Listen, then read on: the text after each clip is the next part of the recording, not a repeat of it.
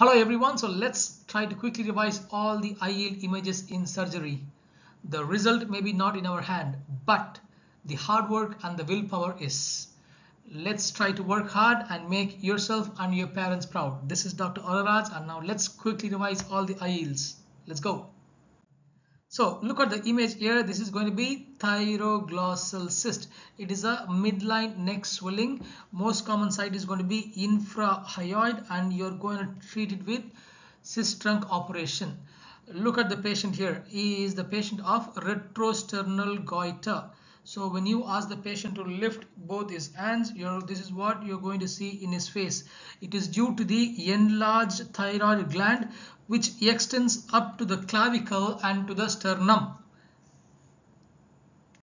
So this image can be very common to everyone. Look at this. This is candida. It is caused by candida albicans and the patient is going to have white patches and is also going to have oral thrush. Remember these white patches can be removed. Whereas in leukoplakia the thickened white patches cannot be scraped off. Very important to remember.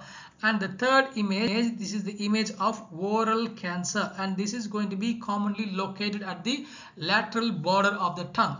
In india it is commonly at, located at the gingivo buccal mucosa. Very important to remember look at the image here. This is going to be exophthalmos. Both the eyes are actually protruded here and this is commonly seen in Graves disease. The second image is pretibial myxedema. We can see thick scaly skin and the patient is going to have lower limb swellings swellings in the lower limb. So if you see a image like this in the exam this is going to be sialolithiasis this is due to calcium phosphate deposition. So the most common complication is due to calcium phosphate. And the investigation of choice is very important remember. It is NCCT non-contrast CT and the second image here is going to be parotid abscess. We are going to do incision and drainage followed by antibiotics. And the third image here this is nothing but squamous cell carcinoma. Great look at the image carefully here. This is going to be breast abscess. Most common organism is going to be staph aureus. Yes and it is commonly seen in lactating females. And this image here looks like orange but it is a breast cancer called as peau d'orange. Very important for the exam. The tumor cells actually enters into the lymphatics. So remember peau d'orange and this image here is going to be fibroadenoma. Fibroadenoma you're going to remember four points. It is going to be a benign tumor. It is also called as breast mouse. Investigation of choice is going to be FNAC on mammography remember we are going to see popcorn calcification. Remember popcorn calcification and also investigation of choice is going to be FNAC fine needle aspiration cytology Men syndrome is always the hot topic in our FMG exams. Let's revise it nicely right now. Let's go. Men 1. Men 1 is called as what? Wermer syndrome. Men 1 is called as what? Wermer syndrome.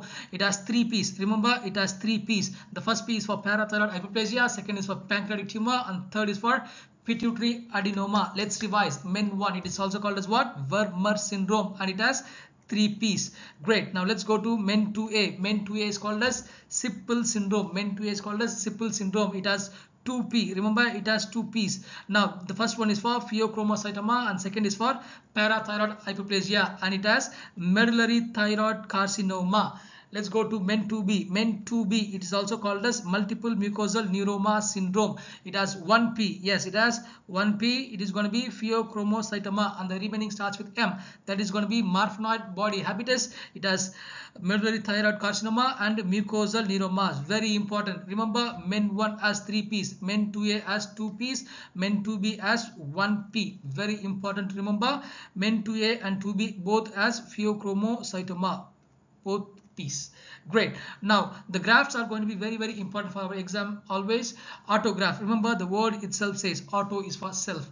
Graph from the same person. Allograft. This is the graph from different person but same species. Remember same species. Isograft. As the word itself says iso. It is from the identical identical twins. Identical twins. Great. Xenograft is from the graph from different species. Remember just this slide alone can definitely fetch you one mark. Now let's look at the radiological images. The first one is probably a lot laddu question for everyone. This is going to be achalasia cardia. It is going to be having what? Bird beak appearance in the barium swallow. Bird beak appearance. Great. And this is probably again uh, LKG syllabus. This is going to be A for apple A for apple core sign it is seen in colon cancer uh, these two this third and fourth one probably for FMGs uh, corkscrew appearance is seen in diffuse esophageal spasm please remember that and this is going to be Zenker's diverticulum. Zenker's diverticulum. There is going to be an outpouching between the muscles CP, cricopharyngeus and inferior pharyngeal constrictor muscles. Inferior pharyngeal constrictor muscles. Very good. This is another important image to revise for the exam. It is called as what? Fournier gangrene. It is the necrotizing fasciitis of the scrotal region. It is also called as idiopathic scrotal gangrene. You are going to manage these patients with IV fluids and IV antibiotics. And the image here we can see an thin membrane around this. It is called as what? Omphalocele. It is the intestine which fails to return into the intra-abdominal cavity and it is commonly associated with trisomy 13, 18 and 21. In gastroschisis, if you see there is going to be no membrane around it.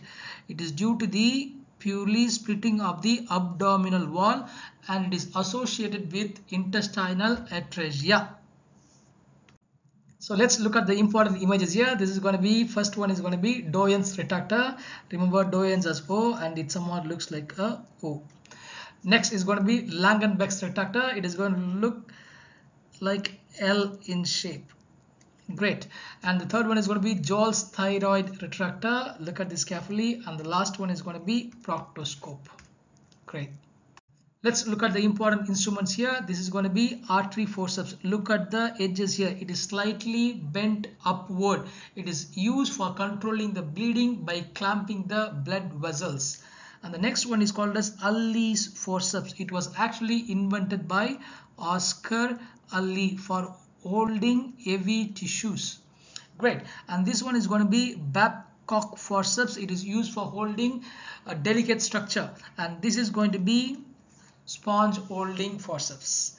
July 30, 2023 is definitely going to be an amazing day for you all. Remember, there is someone who is watching all your hard works. Do not worry about the end products. Try to think about how you can do your best over these coming days. Love you all until the next video. Cheers.